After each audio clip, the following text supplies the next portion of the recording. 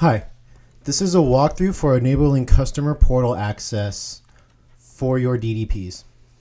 To begin, you must first go to your setup and navigate to all custom objects related to the loop package.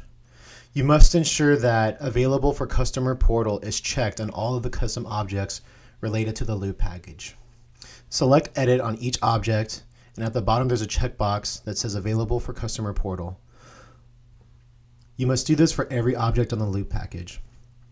Once you've done that, you can move on to field level security. To get to field level security, you can navigate to the customer portal profile.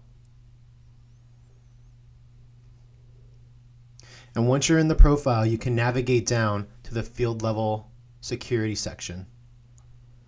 Select view for all custom objects related to the loop package and ensure that all fields are visible for the profile.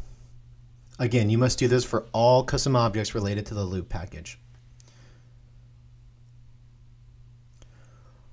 Once you are done with that, you must then add all Visualforce pages to the profile.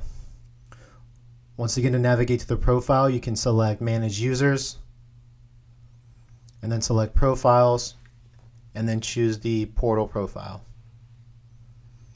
Once you're within the profile detail page, scroll down to the section that says Enable Visualforce Page Access.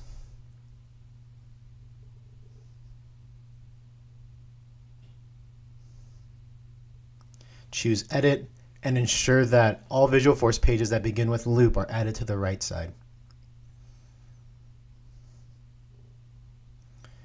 Once that's completed, you successfully enabled portal access for the customer portal profile. Thank you.